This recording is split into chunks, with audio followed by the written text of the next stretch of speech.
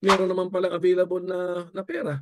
Bakit natin ilalagay ngayon sa program at gagawin mong con conditional na kung merong available na pera? Eh di araw sa atin lahat mga kabayan at narito pa tayo para sa ating panibagong update ah, na dagdagan nga ng 450 billion na unprogram appropriation ang pundo ng House of Representatives. Bakit kaya dinagdagan? Di ba nagbabawas nga sila sa ilang ah, budget ng ilang ahensya ng ating gobyerno. Tinapyas nga yung CIF ah, ni Vice President Sara na 650 million lang yon. Kung tutuusin eh ano lang 'di ba? Parang barya lang sa 450 billion mga kababayan po natin. Ngayon, dahil dyan, eh, itong si ah, Senator Coco Pimentel, ah, tinatawag niya na itong unconstitutional. So bilang isang abogado at isa sa matalinong abogado sa ating bansa, ay gusto niya itong iakyat, iapila sa Korte Suprema dahil hindi nga ito ah, ah, nakasunod sa ating batas. Kumbaga, labag umano ito sa ating konstitusyon sa pagdagdag ng ah, pondo ng House of Representatives. At hindi lang yan, pati pala itong si Congressman Lagman, ako po, akala kasi ni Martin ay nakuha niya na itong si ah, Congressman Lagman dahil pumapabor sa kanyang ah, mga panukala, lalo na itong pagpasok ng ICC, itong extrajudicial killing, na ito ay tirada sa mga Duterte. Pero syempre, yan ay original na yilo yan eh. Liberal Party original yan. Itong si ah, Congressman Lagman. So hindi niya talaga ito makuha kasi loyal ito sa kanyang pagiging dilawan. Ang hindi lang talaga loyal at nagtraidor sa mga dilawan ay itong si Congressman Kimbo, 'di ba? Na pumanig na kay ah, Martin Romualdez at binabatikos nga ng mga dilawan dahil pumanig na ito kay ah, Martin Romualdez at kay ah, Pangulong Bongbong Marcos Jr.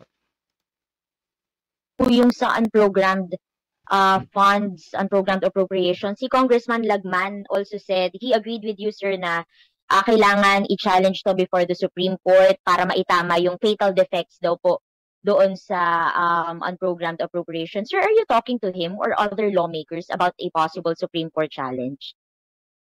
I am talking to a member of the House of Representatives who wants to join me in filing this uh, case, but it's not Congressman Lagman. So nung nabasa ko yung report about his opinion, so sabi ko, okay, we have we have an we have a possible additional ally in the House. But I already I'm already talking to a member of the House, and he he also agrees with with my position. And uh, as a matter of fact, um, malapit ko na matapos yung outline namin of the uh, reasons why uh, the additional 450 billion pesos made by Congress to the to the level of the unprogrammed appropriations as proposed by the president is unconstitutional. Oh, mga kababayan po natin, proposed by a president. So, ibig sabihin, ah, si Pangulong Marcos pala ang nag-propose. Di ba dapat ang mag-aprobaha ng ah, pondo ay ang presidente? O siya pala ay dapat mag-propose ng additional pondo na 450 billion sa House of Representatives. Bakit ka pa kailangan maglagay ng reserba? Eh, lahat naman naka-itemize, di ba? Gusto nila lahat naka-itemize gusto nila transparent kaya tinanggal itong CIF eh kasi dapat itemized na umano kung ano man ang ah, dapat punduhan 'di ba ng ating gobyerno eh bakit nagdagdag pa sila ng 450 billion para saan ito 'di ba at ah, dahil ito ang program so ibig sabihin pwede nila gamitin kung saan nila gusto ipasok nila kung ano yung ah, gusto nilang budgetan mula diyan sa 450 billion ang ah, paliwanag naman ng DVM ito umano ay hindi pa naman aprobado. Ibig sabihin, hindi pa pwede ma-release basta-basta dahil ito kumbaga ay naka-floating. So wala pa umano itong pondo, wala pa ito depende kung may additional umano na tax revenue ang ating bansa, tsaka lang ito mapupunduhan. Pero syempre dahil ang program eh kaduda-duda kung saan nga ba ito mapupunta.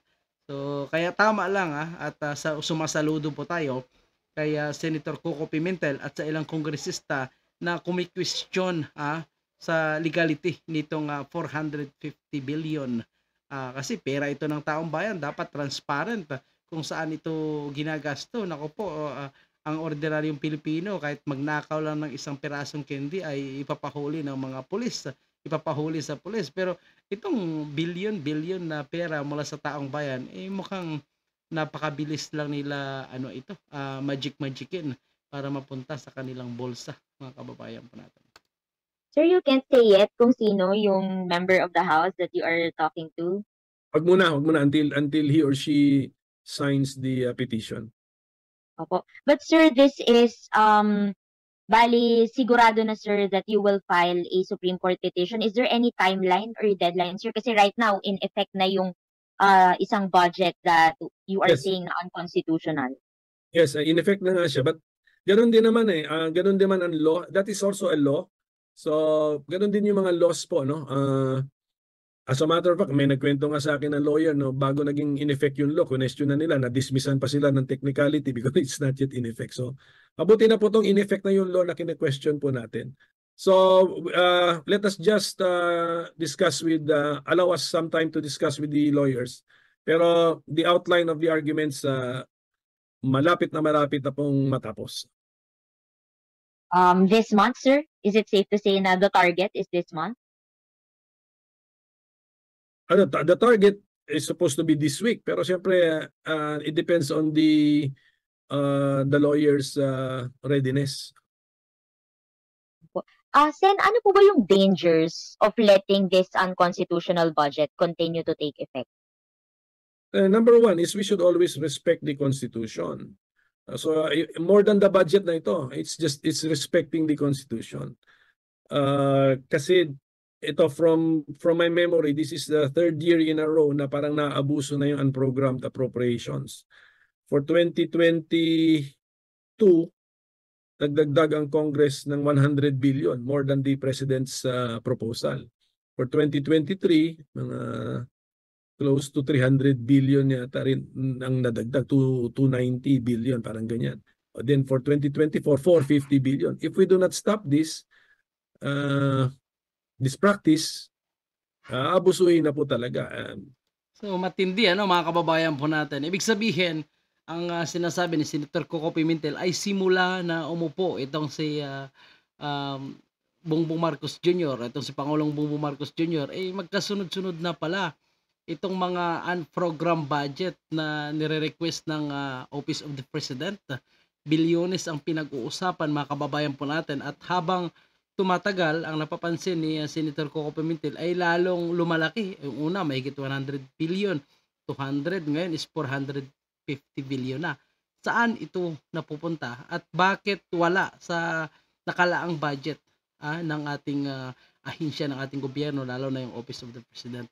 So palagay ko dapat din itong questionin ano. At, at ah, ito ngayon ang ginagawa ni Senator Coco Pimentel, eh tama lang, 'di ba? Kasi pera yan ng taong bayan eh. Dapat maging transparent ang ating transparent ang ating ah, gobyerno. na, so ma, aabusuhin yung practice ang, ang masama unconstitutional pa Mm. yung practice na yun. So it must be nipped in the bud. Okay? So and then ang masama rito sa practice na ito ay uh, dapat if there if there are funds available and there are important uh, expenditures of government hindi ba ang karapat dapat na gawin ay mag-request na lang ng supplemental budget Oh, So parang nasi-circumvent din yung yung idea na supplemental budget. So meron palang mahalagang gagastusan. Meron naman palang available na na pera. Bakit natin ilalagay ngayon sa program at gagawin mong con- conditional na kung merong available na pera? Eh the, the proper way, kung meron talagang available na pera, the proper way to do it is to uh, enact a supplemental budget. And it should be the president kasi presidential form of government tayo eh. The president must be the one requesting or initiating the budget process. Ang nangyari dito sa 450 billion na over and above the president's requested amount, ano na ito? Um, Congress na to. It's now Congress uh, origina- this is now originating from Congress. So, So, originally from Congress o ano, mga kababayan po natin. So, ibig sabihin, parang si Tambi na pala ang ah, presidente, mga kababayan po natin. Kasi nagre-request siya ng sariling ah, pondo na 450 billion which is unprogram na hindi dumaan sa presidente. no, kaya pala hindi ito nagugustuhan ni Senator Coco Pimentel ano. Parliamentary system po yan, hindi na po yan presidential system. So more of sir, para malinaw na yung um, or para explicitly masabi na prohibited talaga by the Constitution na sobra sa Senate ng President yung unprogrammed appropriations. Correct. This is really to uphold what is written in the Constitution. Dalawang provisions ang affected. Yung isa is that, that there should be no expenditure uh, from public uh, coffers without an appropriation made by law. So yun ang meaning nun, appropriation made by law. So si unprogrammed appropriation, magagastos din eh. Kung may, pag sabi nila mayroong 3 to 4 triggers, magagastos din si unprogrammed appropriation. Therefore, it is an appropriation. And then sinabi naman ng isang constitutional provision, Congress cannot increase the appropriations as proposed by the President. So kasama si unprogrammed appropriations sa word na appropriation as used in the Constitution. It's as simple as that. So ito pong pinaglalaban natin ay uh, to uphold the Constitution. But of course, dadagdagan pa natin ng additional arguments. Number one, yung presidential uh, certification of urgency. Ano, eh, budget process ito every year natin itong ginagawa eh. ano naman ang ano naman yung emergency o calamity na nasa harap namin na uh, kailangan sagutin ng budget eh parati naman natin itong ginagawa. O, tignan mo ano nangyayari tuloy eh hindi tuloy nakikita yung final version kasi second and third reading isang araw lang papede because of the presidential certification of urgency. Ayan. Yan mga nangyayari. Hindi tuloy eh, ilang thousand of pages ito. Di lalo natin hindi nakikita lahat ng detalye. So, after the fact na tuloy na ngayon na batas na, makikita natin ang mga detalye then therefore it's the proper time to Sir, sir, So maraming kini-question itong si uh, Senator Coco Pimentel ano sa nangyaring pag-budget ngayong 2024 mga kababayan po natin.